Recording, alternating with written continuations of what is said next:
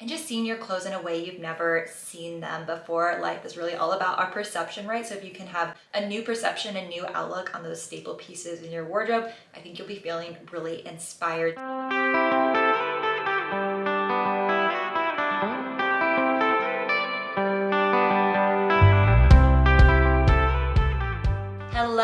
Back to the channel. My name's Savannah. If you're new here, on my channel, I talk about the fun side of minimalism, and today we are talking style. This video is how to discover your own personal style.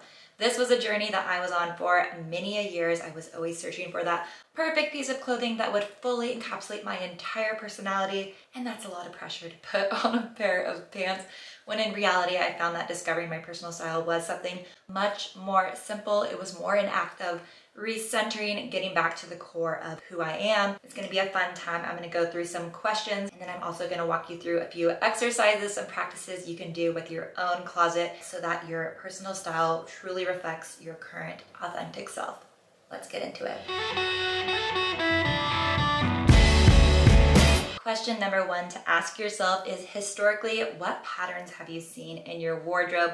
I know we have a lot of changes in different periods of our life based on who we're spending time with, maybe where we live in the country or in the world that heavily influence our style. But if you can draw any overarching conclusions about these patterns you see, Maybe it's a certain color that you've been wearing, a certain print or silhouette is a huge one. Do you prefer your clothing to be kind of cropped and boxy? Do you like a slim fit, more tight fitting look? And if you get stuck, what you can do is you can think back to certain times of your life that you felt really confident and supported in your clothing or maybe you felt very beautiful at that time in your life. Another thing you can do is look back at photos, photos on your camera roll, maybe on social media if you post a lot on social media. Maybe there's certain milestones a birthday party, a graduation, or just a vacation you went on, when you look at those photos, you know, dang, I felt really good in that. And once you have some ideas flowing in this brainstorm, definitely write them down. I think it's really helpful and actually kind of fun to see them on paper or in your notes app as an exercise. I know for me, I'm looking at silhouettes. I really love silhouettes with a lot of length. I think it matches my body type, so I've always been really drawn to dusters, long kimonos, trench coats. Another one for me is if I'm wearing a top I really like it cropped at my waist. I don't really like longer shirts. I guess just anything mid-length doesn't work for me. It's kind of like long or cropped and not a lot in between. I'm really into light colored denim and medium wash denim, especially distressed. That's always been a major cornerstone of my style, even dating back to elementary school, I remember finding some amazing distressed light wash jeans from Ross that I got in like fourth or fifth grade that I just felt like were the best jeans I've ever owned. also knitwear. I have always loved knitwear, loved sweaters, especially creams and whites. Those are the colors I've drawn to. And then beyond creams and whites, I've always loved light blues, light pinks, and kind of different shades of yellow. I haven't dipped my toes as much into like purples, greens, oranges, but yeah, that's, that's my list of my patterns. Make your list and see what conclusions you can draw. Question number two you can ask yourself is what is your aesthetic? What is that artistic representation that sums up your style. I know there are those very traditional categories, preppy, bohemian, grunge, but don't feel like you have to pigeonhole yourself into one of these very cliche, classic high school cliques sort of style. Definitely get creative with how you want to describe your outward appearance. So I created a list for myself with quite a few words. I have beachy, coastal, worn, lived in, memories, tomboy, varsity collegiate, flirty, feminine, easy, electric, danceable, and skin. So those are all my words. And then I started my top faves of that list. What I came up with was romantic beach varsity. And I feel like that encapsulates my style very, very much. I definitely am into that California coastal look, light colors, flowing fabrics. I'm really inspired by surf culture and skate culture and then romantic. I love romantic silhouettes. My body type is very athletic, not super soft and feminine. So I really like those soft feminine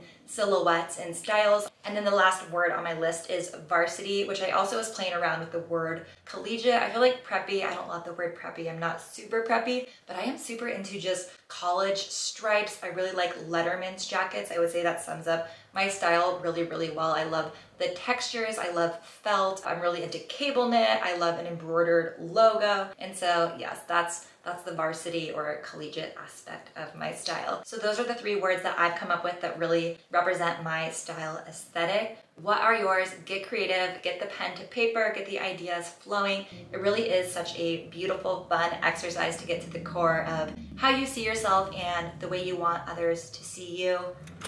Question number three is How do you feel when you are in your element style beauty wise? Do you feel strong, powerful, empowered? Do you feel sexy? Do you feel cozy? Do you feel protected? Is it an armor for you? Do you feel masculine? Do you feel feminine? There are so many emotions and feelings that clothing and style can provide. Imagine yourself in some different scenarios. Maybe they are memory scenarios that have actually happened, or maybe there's scenarios that are in your future. It could be a situation at work, it could be a vacation, it could be just daily life, hanging on the couch or hanging with friends. What are those emotions that you want to feel? For me, I want to feel strong, authentic, and supported. That is my baseline. If I'm not wearing something that makes me feel those three things, then I'm probably not going to head out the door. Or if I do, I will probably be feeling a little bit cranky because I'm insecure or uncomfortable and nobody wants to feel like that. And we are on to the first exercise, which is to declutter your closet Marie Kondo style. If you have not read this book, you guys, it is truly life-changing. It's in the title.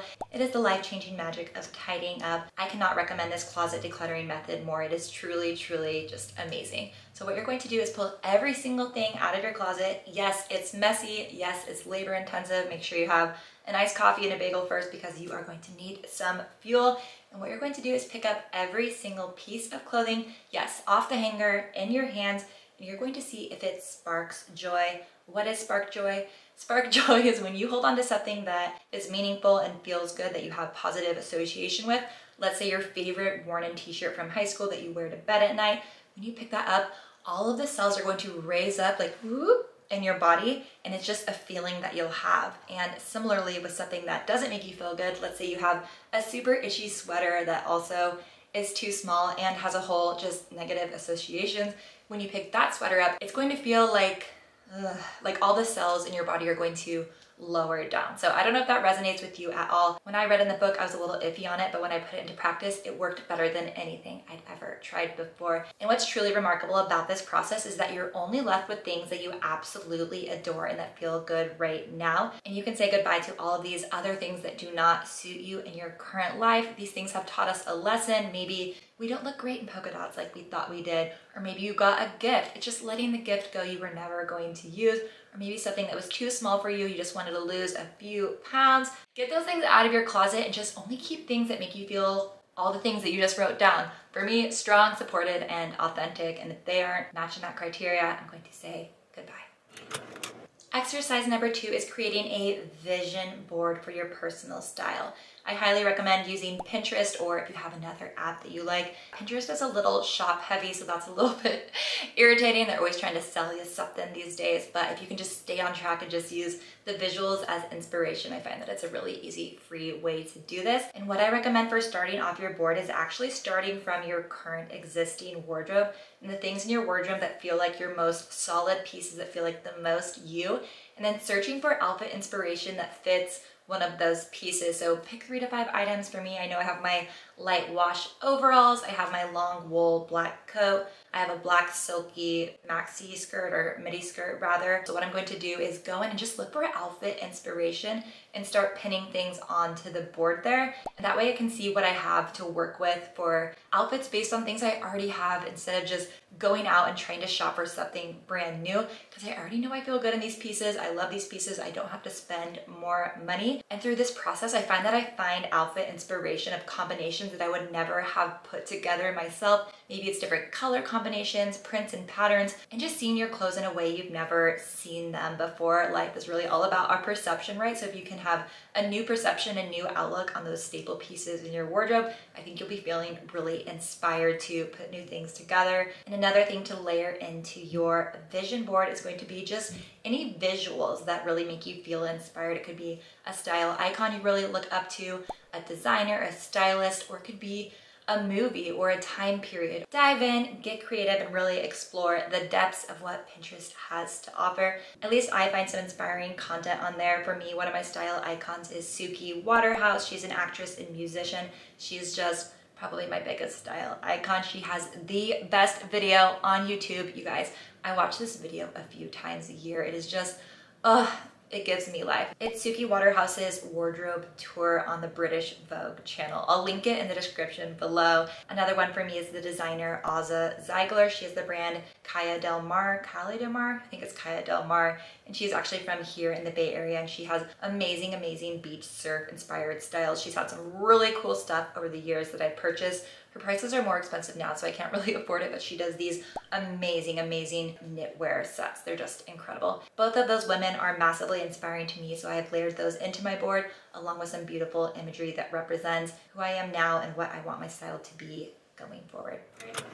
And the third exercise I recommend is continuing to experiment and just putting yourself out there. Do not be afraid of doing things you have never done before just because people aren't used to seeing you in a certain look and a certain color. In reality, no one else is really worried about anyone but their own self. That is something that I have learned over the years. If you wear a bright color, if you wear a crazy hat, no one really thinks it's that weird, just you do. So get out there and experiment. Try some color combos you've never done before. Layer some crazy patterns. Wear a short skirt. Wear a longer, more modest outfit if you've been used to showing skin and you want to try something else out. You know, I did the turtleneck under the spaghetti straps thing this year. I actually like it. I think it looks really cute on me and I thought it was kind of dorky before. You never know till you try it on. And you know what? Not everything is a slam dunk. It is trial and error. Lord knows that I've tried some things that didn't quite work. I have always been obsessed with these tailored matching jackets and mini skirts, very Chanel inspired. Chanel from Scream Queens, Blair from Gossip Girl. I just wanted that matching tweed set and I have really, I've tried, I'll insert some photos of kind of some preppy looks that I've done. And I don't know, when I wore those things, I just never really felt like myself. I always felt like I was wearing a costume and just something wasn't right there, at least for how I like to look and feel in my clothing. I don't know about you, but for me, when I see people out in the world that have amazing personal style that's just pushing the limits, pushing the bar, trying cool new things, that is what gives me so much inspiration to me, myself, think outside of the box and be more confident with trying new styles and silhouettes. So be that person out in the world that inspires other people. For instance, at my last few office jobs, I definitely wore more bright colors, more interesting outfits than the typical bland office outfit. And people would always come up to me and say, oh my gosh, you're the only person that could pull that off. I could never wear that. And in reality, yes, anybody can wear anything. It's all about the confidence that you have. So if you feel really dorky wearing a hat, you're gonna look like a dork. But if you stand tall with your shoulders back and just you know, rock the hat, then everyone is going to think you're the most, you know, confident, well-dressed person. That's the fun of personal style. It's about putting your own flair, your own attitude on it. That's what makes it super special and unique to yourself. And it's not just the clothes you wear, it's your hairstyle, your makeup, your jewelry, your tattoos, just any way you want to express yourself, just do it. I give you the permission and the power to step into who you are, you've always been, where you're going to live your life and feel incredible. I hope these questions and exercises have stirred something up in you, getting your creative juices flowing to really dig into who you are at the core whatever your personal style may be. I know for me, when I see people out on the street, people that I love their style, it's never someone who is wearing the latest Kardashian looks or shopping Instagram ads. It is those people that have a super unique perspective. They have picked out clothes from their own closet, maybe thrifted something, and it's the way that they layer them together, piece them together to tell a story and just shine their own unique light. And let me know in the comments if you feel the same way. Who do you think are the most stylish people? Also, if you have any methods, techniques for uncovering your own personal style that has worked for you, whether it was intentional or accidental, let me know in the comments. I would love to hear from you guys. I'm trying to get this community going. So get down there and fired up. and if you haven't subscribed yet, what are you waiting for? Join the family here. I would love to have you. If you like this video, please give it a thumbs up. It really helps other people see my channel. I'll catch you guys in my next video. I post new videos every week. Have a fun day. Bye.